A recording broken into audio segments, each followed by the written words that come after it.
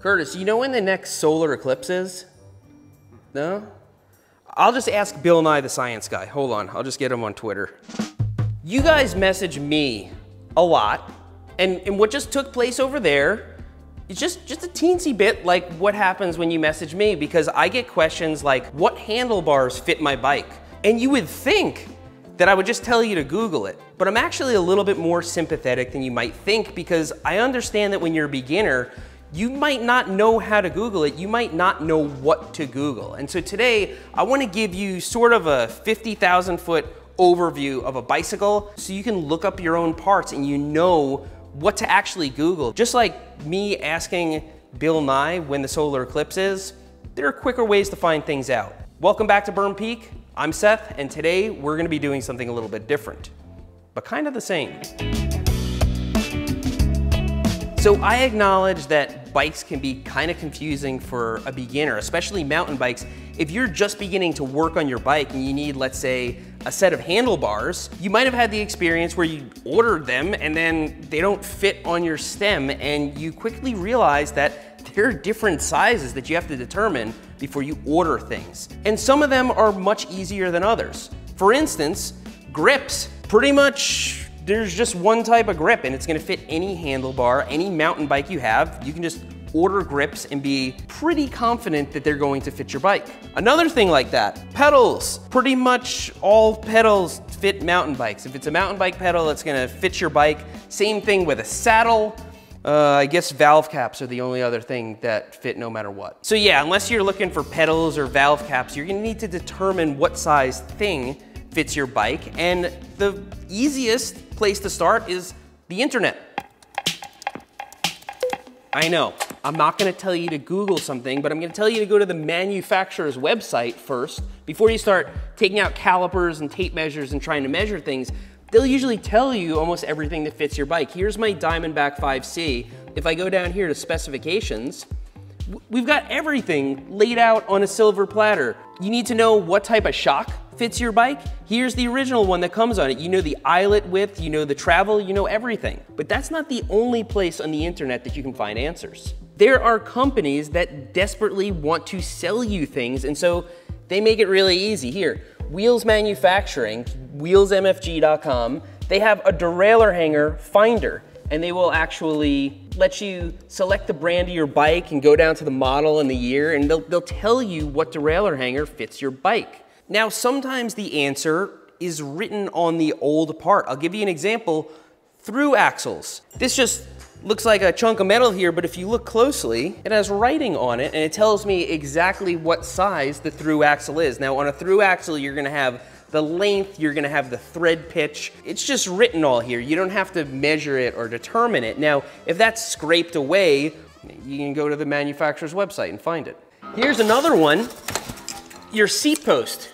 There it is, 31.6. So now when you get a new seat post, it's gonna be 31.6, but the collar that tightens your seat post down, that's actually gonna be a different size. That's gonna be the diameter of the bike, which is a little bit bigger. Sometimes you're gonna have to measure stuff. Now, most everything on your bike is gonna be in metric, except for the tires for some reason.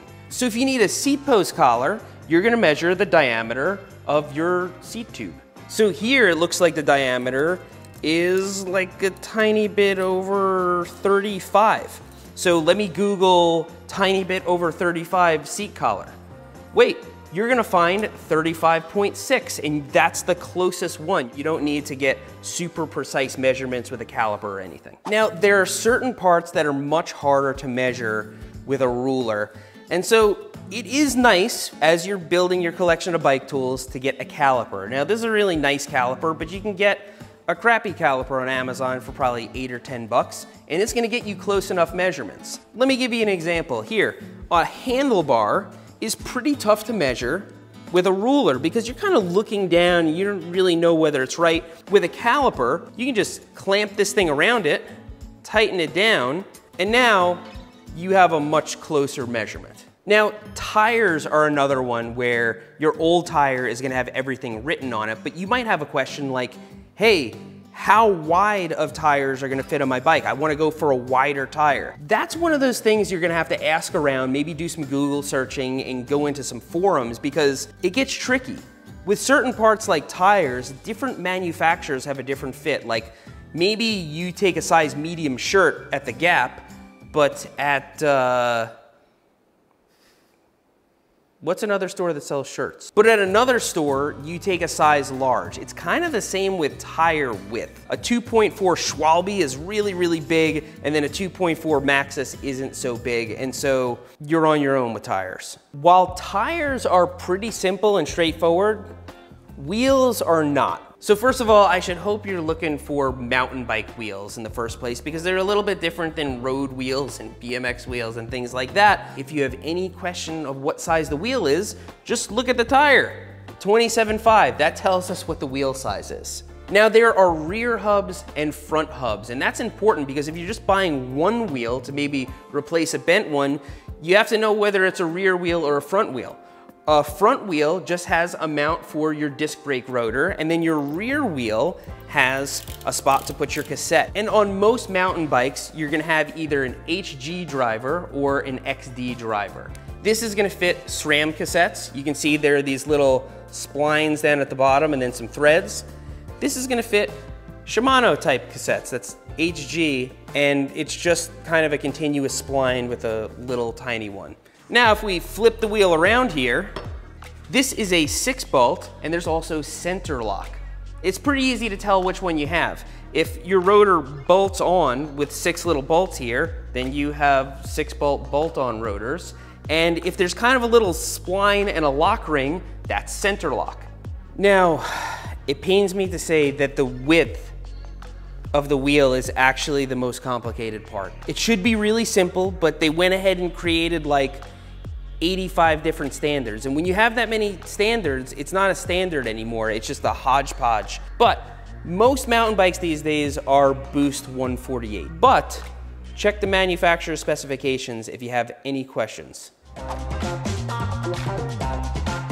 And before I did mention the cassette, now you have to make sure that whatever cassette you get, first and foremost, has the same number of cogs as the old one or it's not gonna run on your drivetrain. You also have to get the correct brand. So you're gonna need either an HG cassette for Shimano, TRP, Microshift, basically everything, or you're gonna need an XD cassette, SRAM, for SRAM. But like I said, the most important thing is the number of cogs on the cassette. This is a 12 speed cassette, and so you're gonna use a 12 speed derailleur, 12 speed shifter, all that stuff. Even a 12 speed chain so yeah, I'm very happy to report that chains are one of the easiest things to order for your bike because all you have to do is count the number of cogs in your cassette. If it's a 12 speed, you need a 12 speed chain. If it's, if it's 10 speed, you need a 10 speed chain. And that's it. Now here's another one that's pretty easy.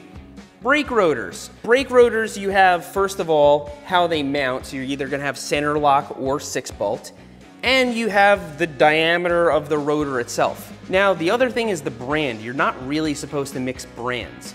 You can, and it'll usually work until it doesn't. And so if you don't want to leave anything up to guesswork, then just get the same brand rotor as you had before. So you bend your rotor, you smoke your rotor, get the diameter, the bolt pattern, and the brand.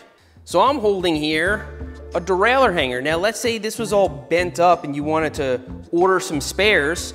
Uh, how are you gonna find out what it is? Well, first of all, I showed you you can go on Wheels Manufacturing's website and they'll tell you what derailleur hanger fits your bike. Or you can use this little hack I'm about to show you. Okay, so first you're gonna take the derailleur hanger and you're gonna put it down on a surface that's sort of all one color. Here in the Google app, there's actually a picture of a camera. You press it and now it says search with your cameras. Yup, look at that. Whole bunch of them came up. Now here on the old Amazon, they want $40 for this derailleur hanger? That is highway robbery. Now there are certain parts on your bike that are so complex that you need a part for a part. Like, let's say your suspension fork, you're gonna need volume tokens, service kits, oil, all that stuff great thing about suspension forks is a whole bunch of stuff written on it. You can tell exactly what type of fork you have. You can go to the website and especially companies that make suspension forks like SRAM and Fox and Öhlins, they have all sorts of service information on their sites. They have pretty much the most in-depth service information of any bike part available. And so all you need to do is figure out what type of fork you have and you can find out everything about it. So are we leaving a lot of stuff out?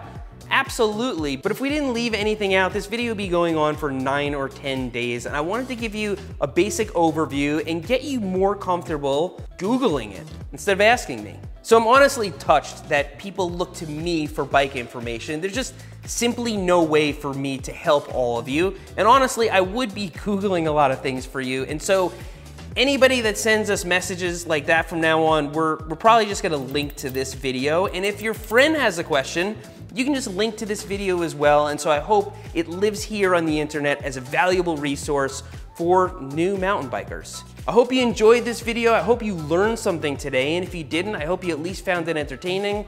Thanks for riding with me today, and I'll see you next time.